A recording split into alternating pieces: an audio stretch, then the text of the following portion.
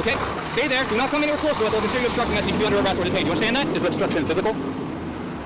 Your ridiculous questions are so annoying. I'm not going to entertain that. What's okay? section three of I'm the telling you to Canadian stay away Charter of from Rights us. and Freedoms? End of story. What's section three?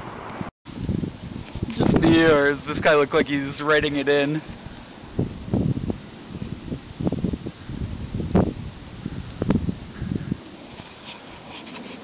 I'm gonna take meditation advice from a guy in a Bob Marley t-shirt.